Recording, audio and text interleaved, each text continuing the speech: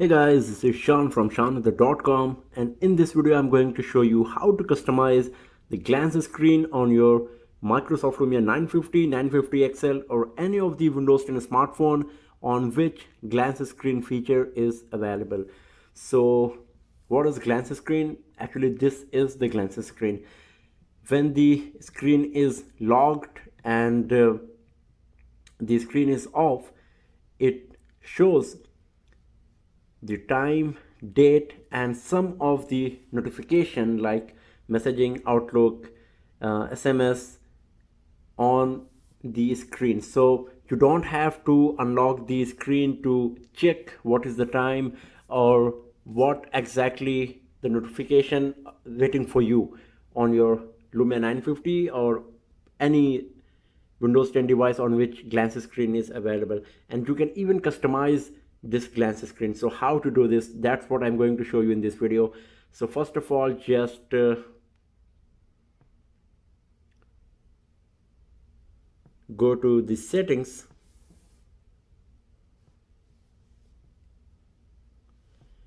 And then scroll down come to the extras just tap on it. And here you will find an option called glance screen. Just tap on it again and then you will find a list of options. So the very first option is the mode. Show the time and other lock screen content in standby for the selected period. So right now it's 15 you can select either 30 seconds 15 always on or off. It's totally up to you. I have selected 15 minutes here. Okay. After that it comes content. What exactly you want on your lock screen or your glance screen. So the background photo background photo is right now off. You can turn it on or off. It's totally up to you. Then comes the date. It's turned on. Notification icon it is also turned on. And detailed app status is also turned on. So if you see my glance screen you can see it is showing the time the date the notification icons and the detail that uh, one Outlook email is waiting, for SIM2 for SMS are waiting, and for SIM1 5 SMS are waiting for me to check. So this is how I have customized my glance screen. You can change it based on your preference.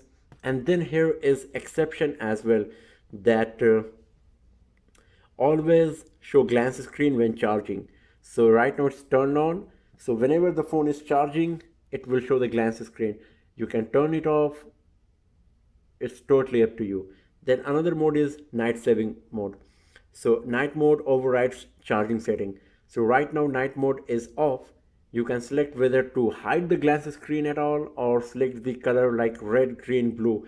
And depending on the time coming on your smartphone it will work as night mode and if you are using the night mode then this setting that says always shows glance screen when charging it will be overridden by this night mode. So this is how you can customize it. If you go to the night mode you can even select red green blue. For example let's select green. And you can see that now my glance screen is green. Why? The reason is it's 2:16 a.m. in the morning.